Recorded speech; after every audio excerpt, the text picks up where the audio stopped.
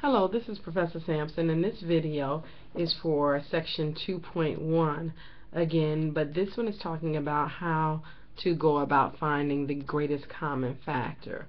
We will find the greatest common factor in our calculator, but we need to go through some background information.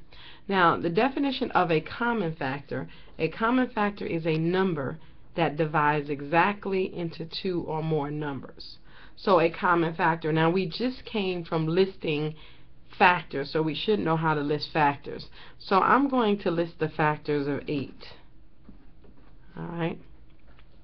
So the factors of 8 are going to be 1, right, 2, 4, and 8. Right? 1, 2, 4, and 8 are the factors of 8. Then I'm going to list the factors of 6, which is 1, 2, 3, and 6. Alright.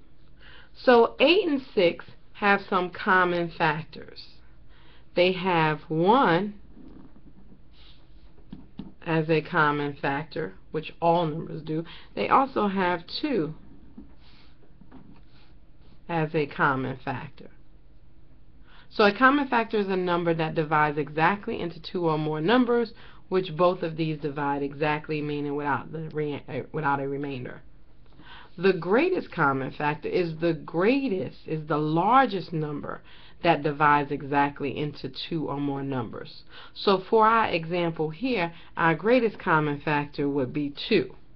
Alright, that's the greatest one that's in common between those two numbers. So our greatest common factor would be 2. Alright. So we used the list method. We listed the factors of 8 and 6. We found out what all of the common factors were, only to eventually find the greatest common factor from our list of common factors. Now we're going to learn how to find a GCF in our calculator. And we're going to use these same numbers 8 and 6. Okay. So in our calculator, right, to find the GCF, we're going to use the following steps. We're going to, and I'm going to put it aside for a minute, we're going to hit the step 1, right, we're going to hit the math button. Right, the math button. Then we're going to go over to NUM, which is num. And then you're either going to scroll down or just hit number 9. So you're either going to scroll down to the number 9 or you can just hit 9.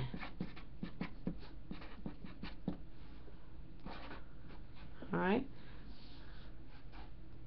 Once you get there, you're going to put in your two numbers with a comma. We talked about the comma before. The comma is going to tell the calculator that they're two different numbers. So, put the numbers in. Right, separate with comma.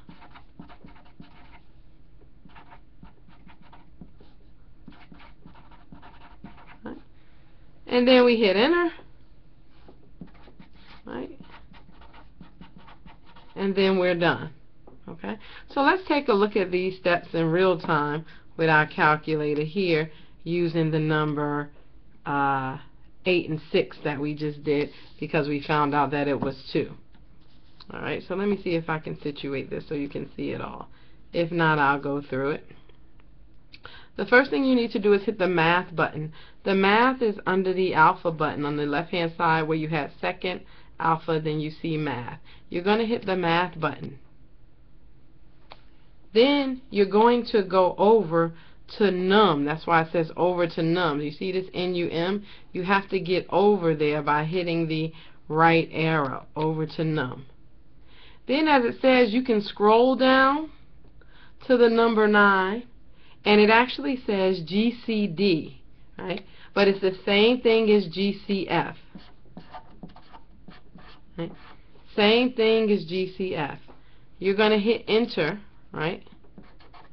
Enter to select. Alright. Once you selected, this is when you're going to put your commas between the two numbers that we did. We did 8, comma. The comma is on top of the 7. Right, on top of the 7. 8, comma, 6. You can close it up. Then you can hit enter. And then it's going to give you what we got when we worked it out, which is 2. Okay? While we prefer to use our calculator, because sometimes our numbers get large and listing all of those factors is not practical. It becomes impractical to list all the factors. Sometimes it becomes impractical to list all the factors of even smaller numbers like 15 and 24. Remember, we did 24. We listed the factors of 24 in the last video.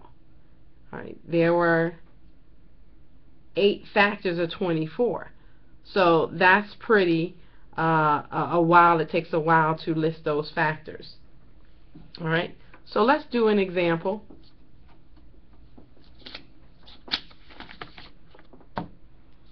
All right.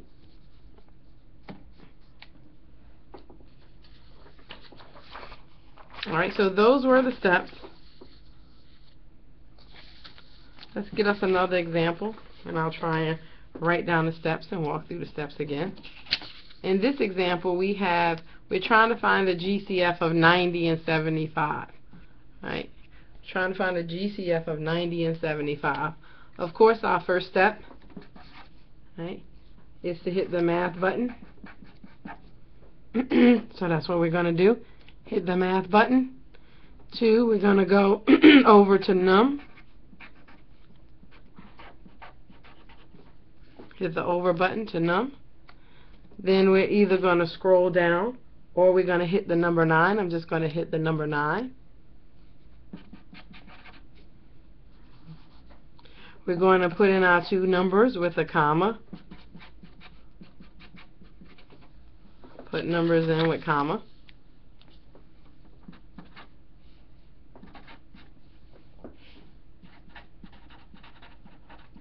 Right? And don't forget that the comma is on top of the 7. So we're going to put in our two numbers, which we said are 90 and 75. So 90, comma, 75. And then hit enter. And the GCF is 15. Alright. Let's try another one.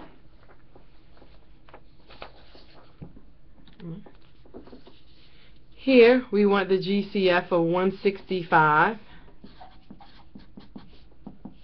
165 and right 231 165 and 231 again math. Go over to num.